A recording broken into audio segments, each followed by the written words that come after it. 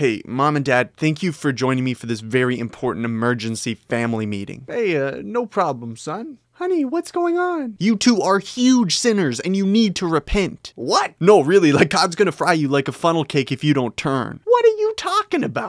Okay, as much as you don't want to water down the truth that yes, hell is real and yes, repentance is necessary, when it comes to family, there's a better way to do it. A great way to begin the conversation is ask them their beliefs about God and the afterlife. People love to talk about what they believe, so just give them an opportunity. Listen carefully, ask questions, and be attentive. At that point, you basically just have the opportunity to share your testimony. As you're formulating your testimony, think about the questions that you had. When did things actually begin to click for you? When did you understand that you were a sinner? And when did you understand that Jesus was the Savior. You're not preaching at them, you're having a conversation with them. And this will hopefully open up the door for many more conversations in the future.